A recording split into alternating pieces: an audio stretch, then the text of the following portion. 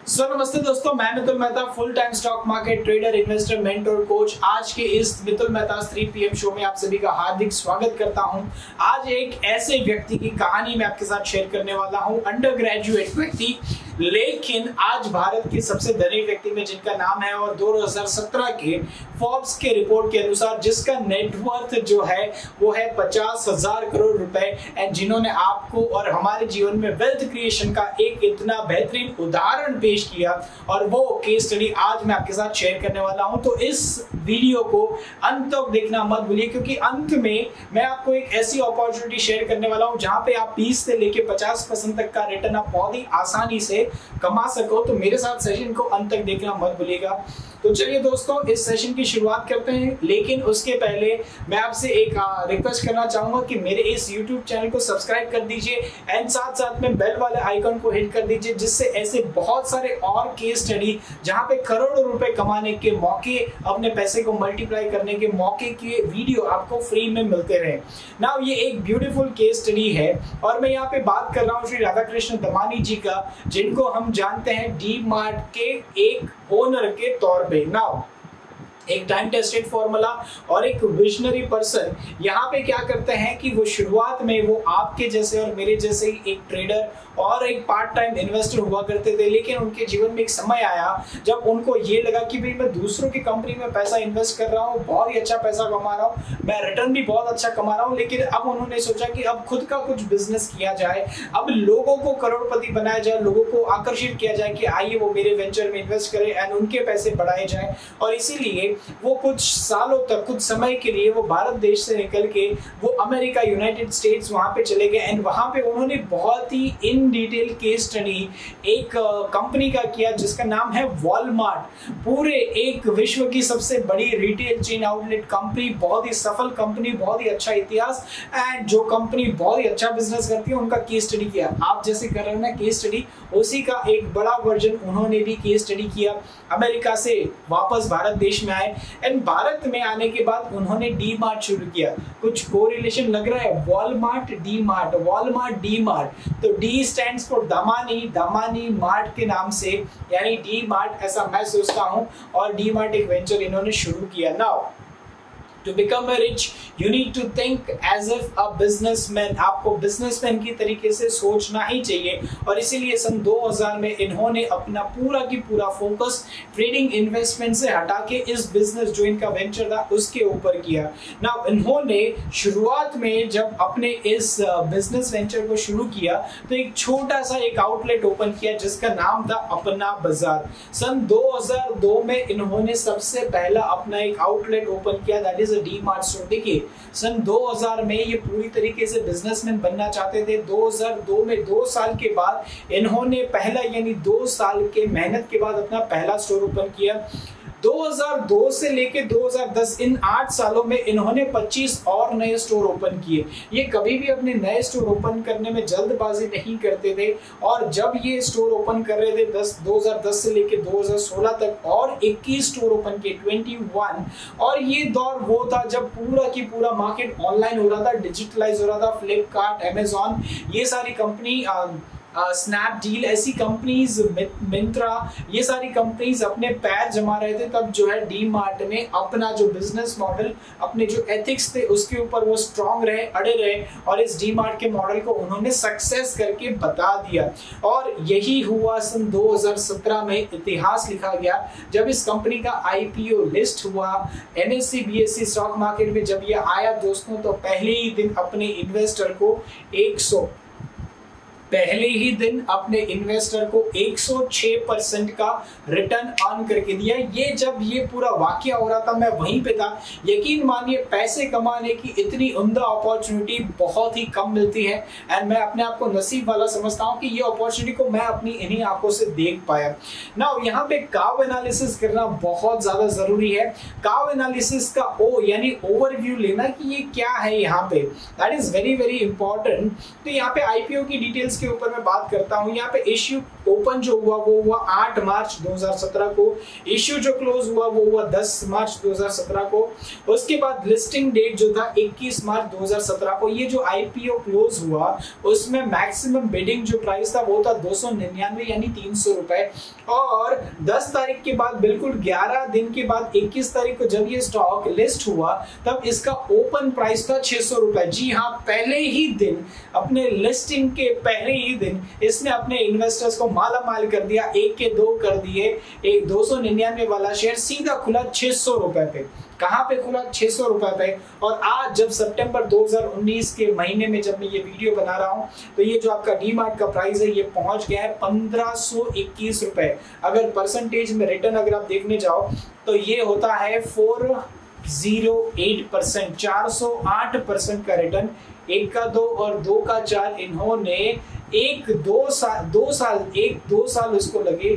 दो साल के कम समय में आपको 400 परसेंट का रिटर्न दे, देने वाली कंपनी और कौन हो सकती है? सिर्फ़ और सिर्फ़ यही हो सकती है। अभी एक बहुत ही इंपॉर्टेंट काउ का डब्ल्यू एनालिसिस करना है। W analysis stands for now what to do अब क्या करें? तो अब मैं स्ट्रैटेजी बिल्डिंग के ऊपर जा रहा हूँ। देखिए स्ट्रैटेजी बिल्डिंग दो तरीके की यहाँ पे हो सकती है। आप ट्रेडर के नाते स्ट्रैटेजी बनाना चाहते हो या आप इन्वेस्टर के नाते। तो आप एज ए ट्रेडर बनाओ या स्ट्रैटेजी बनाओ एज ए पोजिशनल ट्रेडर बनाओ या इन्वेस्टर बनाओ। स्ट्रैटेजी बनाने के लिए कुछ चीज़ें आपको ध्यान में रखनी पड़ेगी। वो अब मैं यहाँ पे आपको बता रहा हूँ। सबसे पहले ये इसके फंडामेंटल्स को समझना बहुत ज़्यादा ज़रूरी कंपनी है। ये जो डी कंपनी है, इसका जब हमने स्टडी किया तो हमने ये पाया कि ये जो कंपनी है, ये अपने सारे के सारे स्टोर खुद परचेस करती है।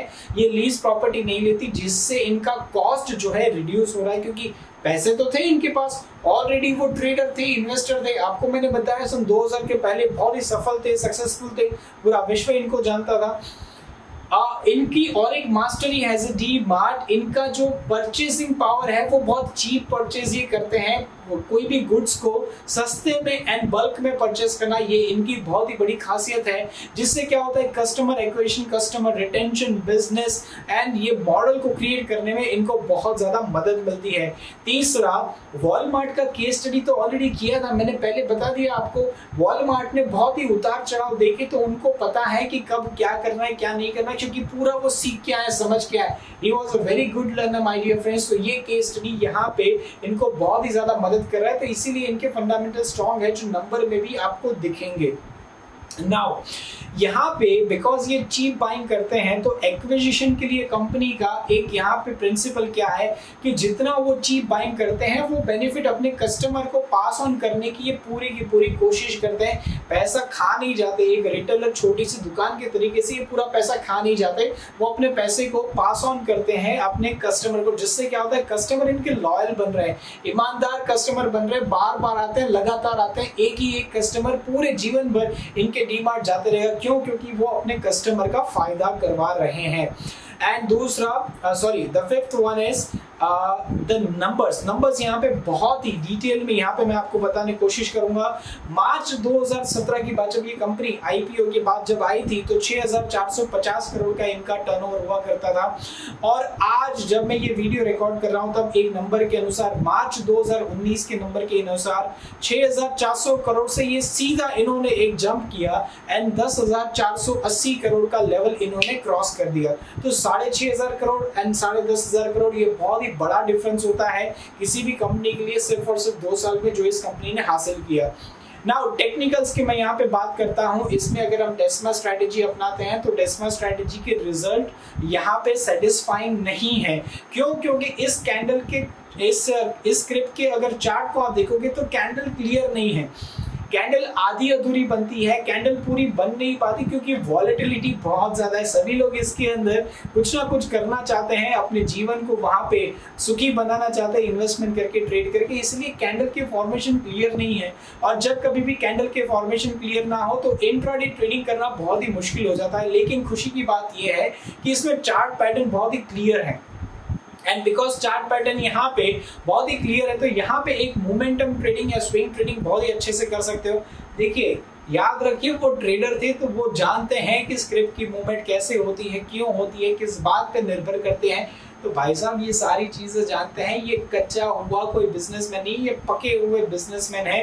नॉलेज एजुकेशन एक्सपीरियंस इनके पास भरपूर है और इसीलिए ये सफल ट्रेडर आज है आ, पहले थे और आज इन्वेस्टर भी हैं और आज वो बिजनेसमैन भी एक सफल बन चुके हैं। ना यहाँ पे अगर मैं एक टेक्निकल्स की बात करूँ तो 1500 के लेवल पे एक फ्रेश ब्रेकआउट इस स्क्रिप्ट ने दिखाया। एंड अगर अगर हम 11वीं शताब्दी के फिबना की प्रिंसिपल प्रिंसिपल को यहाँ पे अप्लाई करें तो यहाँ पे इस कंपनी के दो टारगेट निकल के आते हैं, वो है 1717 1717 एंड दूसरा जो टारगेट निकल के आ रहा है दैट इज़ 2020 2020 तो अगर 2020 का टारगेट देखें तो यहाँ से बहुत ही आसानी से आप 25 परसेंट से लेके 30 परसेंट तक के रिटर्न कमाने की अपॉर्चुनिटीज़ फिबोनाची के हिसाब से यहाँ पे आपको मिलती है। देखिए, ये केस स्टडी में एक प्रोफेशनल ट्रेडर बनने के लिए आपके पास बहुत सारे लर्निंग है। सबसे पहले उनके पास पूरा यहाँ पे नॉलेज था एजुकेशन एक्सपीरियंस था केस स्टडी करके आए थे। केस स्टडी करने के बाद, दो साल के बाद पहला स्टोर खोला, यानी वो अपनी स्ट्रैटेजी को अप्लाई करने में जल्दबाजी नहीं करते थे। वो पूरा उनका फोकस होता था एक कंप्लीट फाउंडेशन पे। तीसरा इनका था, वो अपनी फ्रेंचाइजी या चेन ऐसी अपने नंबर ऑफ़ स्टोर्स बढ़ाने में जल्दी नहीं करते थे, वो एक छोटे से एग्ज़ाम्पल के ज़रिए से एक बड़ा एक एम्पायर क्रिएट इन्होंने किया। That is the third thing अपनी स्ट्रेटेजी को छोटे कैपिटल के साथ टेस्ट कीजिए, उसको पूरा की पूरा कैपिटल उसको मत दीजिए। That is third and number fourth always become a realistic trader and उन्होंने यहाँ पे ये किया। अगर राकेश दामानी जी की अगर आप बात करो राधा कृष्ण दामानी जी की तो राधा कृष्ण दामानी जी एक बहुत ही अच्छे लर्नर है और साथ साथ ये अपनी गलतियों को स्वीकार करते हैं और तुरंत उसके ऊपर उसको करेक्शन करके आगे निकल जाते हैं। वो गलती को दोहराते नहीं है तो ये चौथा आपके लिए बहुत ही इंपॉर्टेंट लर्निंग पॉइंट है और यही सारी चार चीज़ है मैं अपने क्लाइंट्स को सिखाता हूँ। मेरा जो एम कोर्स है दोस्तों एमक्यू कोर्स के अंदर मैं अपने सारे क्लाइंट्स को यही बात कहता हूँ दोस्तों की आपको अगर सफल बनना है तो एक बिजनेसमैन के तरीके से सोच सोचना पड़ेगा। समय की मर्यादा आपके पास नहीं होनी चाहिए। कैपिटल कुछ कुछ भी आपका हो, दस हज़ार का कैपिटल हो या दस करोड़ का कैपिटल हो इनफ है।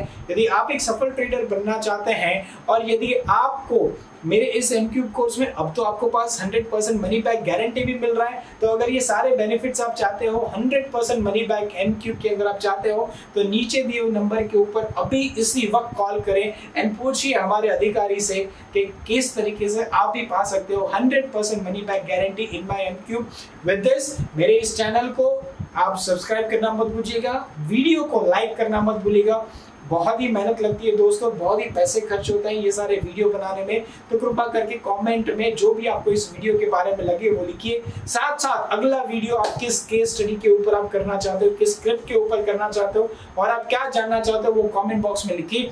मैं ज़रूर उसके ऊपर एक वीडियो बनाऊँगा। With this take care of your hard and money Jai Hind.